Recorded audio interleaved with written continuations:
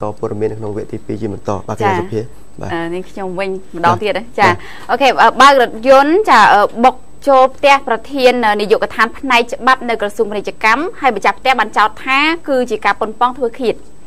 រថយន្តក្លុបបិទចិត្តដឹកផ្លែឈើតែកង់រថយន្តឈប់ចោះទិញថ្នាំពេទ្យស្រាប់តែព្រូរថយន្តចាក់សោម្ដងកាច់សោបញ្ឆេះទាំងរថយន្តជាប់លេខជន់ហ្គាជ្រុលទៅបុកនឹងរថយន្តចតនៅខាងមុខមួយគ្រឿង ចាបាទអូត្រូវទេចា ដែលគេដឹងថាគឺម្ចាស់ផ្ទះប្រធាននាយកដ្ឋានផ្នែកច្បាប់នៅក្រសួងពាណិជ្ជកម្មផ្លូវលេខ364កែង203ភូមិ5សង្កាត់ទួលស្វាយព្រៃទី2ខណ្ឌចំការមនកាលពីវេលាម៉ោង2:40នាទីរសៀលថ្ងៃទី8ខែតុលាតាមប្រភពព័ត៌មានពីកន្លែងកើតហេតុនឹងបានបានឲ្យដឹងថាមុនពេលកើតហេតុរថយន្តបង្កជារថយន្តដឹកទឹកផ្លែឈើប្រភេទរថយន្តក្លុបបិទចិត្តពណ៌ខៀវជិះគ្នាពីរនាក់តែកង់នឹងព្រូធ្វើដំណើរតាមផ្លូវលេខ365ពីជើងទៅត្បូងខណៈមកដល់ចំណុចខាងលើស្រាប់តែអ្នកបើកបរបានឈប់ចតនៅខាងក្រោយរថយន្ត Triton ពណ៌កណ្ដុលប្រមេះស្រាប់តែពេលដែលតែកង់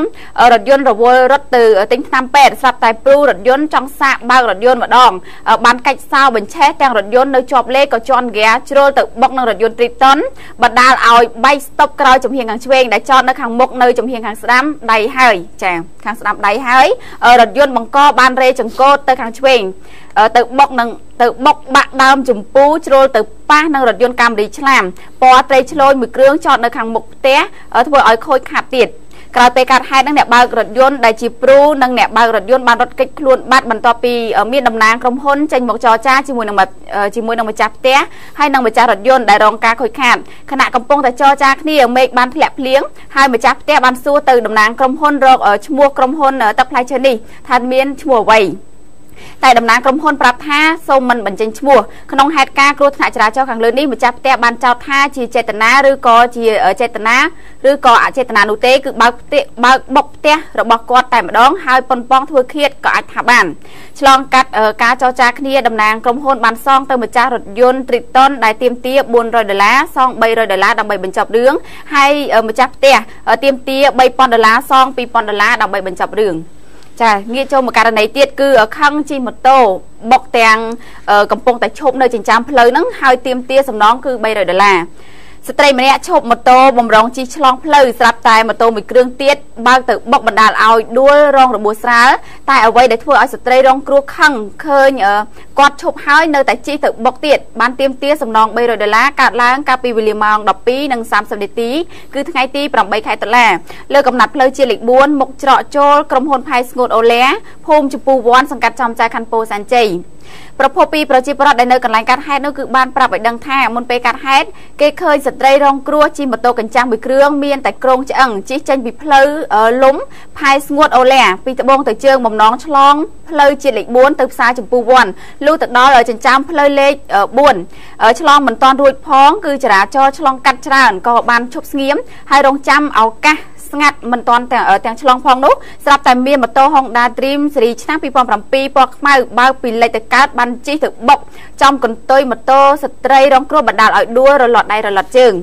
ហើយក្រោយពេលកាត់ហេតុធ្វើឲ្យស្ត្រីរងគ្រោះខឹងមួម៉ៅក្តៅក្រហាយពេលឃើញម៉ូតូគាត់ចាស់ពេកចា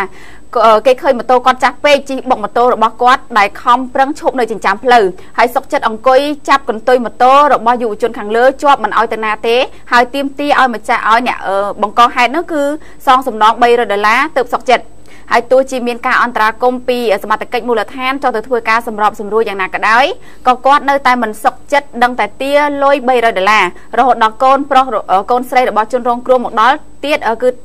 ទៀមទីឲ្យសមត្ថកិច្ចយកម៉ូតូទាំងពីរគ្រឿងដាក់ប៉ុស្តិ៍រងចាំដោះស្រាយតាមច្បាប់ បាទឈប់នៅចាំផ្លូវមានគេមកបុកទៀតហើយទៀមទាសំណងរហូតដល់300ដុល្លារគាត់ចាប់ម៉ូតូចតឲ្យម៉ូតូទៅណាឲ្យទៅណាដែរទៀមទា300ដុល្លារសិនបាទឥឡូវយើងបញ្ចប់ករណីនឹងទៅប៉ុណ្្នឹងចុះយើងបន្តព័ត៌មានពាក់ព័ន្ធនឹងករណីការផ្សព្វផ្សាយអំពីច្បាប់ចរាចរណ៍ដែលយើងឃើញថាបញ្ហាចរាចរណ៍គឺក្នុងមួយថ្ងៃមួយថ្ងៃគឺសម្រាប់ប្រជាពលរដ្ឋខ្មែរយើងរហូតដល់5នាក់ហើយរាប់សិបនាក់ផ្សេងទៀតរងរបួសដោយសារតែបញ្ហាគ្រោះថ្នាក់ចរាចរណ៍មិនមានការគោរពច្បាប់ចរាចរណ៍ឲ្យបានត្រឹមត្រូវនោះបាទយើងឃើញថាក្នុងរយៈពេល9ខែដើមឆ្នាំ2014នេះករណីគ្រោះថ្នាក់ចរាចរណ៍គឺមានរហូតដល់3638ករណីនៅក្នុងនោះគឺស្លាប់រហូតដល់1630ករណីហើយរបួសរហូតដល់2547ហើយរបួសធ្ងន់នោះរហូតដល់3476នាក់យើងឃើញថាឯអាដាមគឹមរិទ្ធីអនុប្រធានសហភាពសហព័ន្ធយុវជនកម្ពុជា បានមានប្រសាសន៍ថា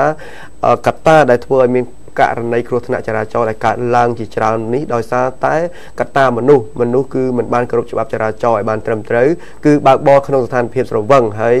មួយទៀតគឺបើកបរលឿនដែលនេះជាបញ្ហាផងដែរហើយ